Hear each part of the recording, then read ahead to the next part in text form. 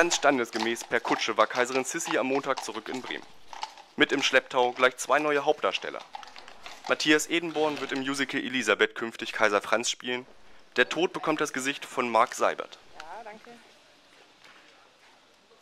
Wir verstehen uns super. Also Marc Seibert und Matthias Edenborn sind echt super Kollegen.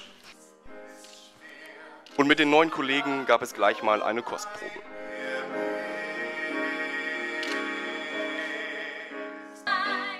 Der Tod in Person von Mark Seibert könnte dabei vielen bereits ein Begriff sein. Schließlich spielte er bereits den Ranger im Musical Schuh des Manitou. Ganz anders, aber das äh, ist ja das Schöne als Darsteller, dass man halt eben auch verschiedene Sachen äh, machen möchte und machen sollte, äh, um irgendwo auch äh, ja, flexibel zu bleiben und sich nicht irgendwann was reindrängen lässt. In Bremen wird das Musical nach der Premiere in Köln dann im März 2012 für drei Wochen zu Gast sein. Ein Comeback, das schon jetzt Vorfreude bei Sissy auslöst.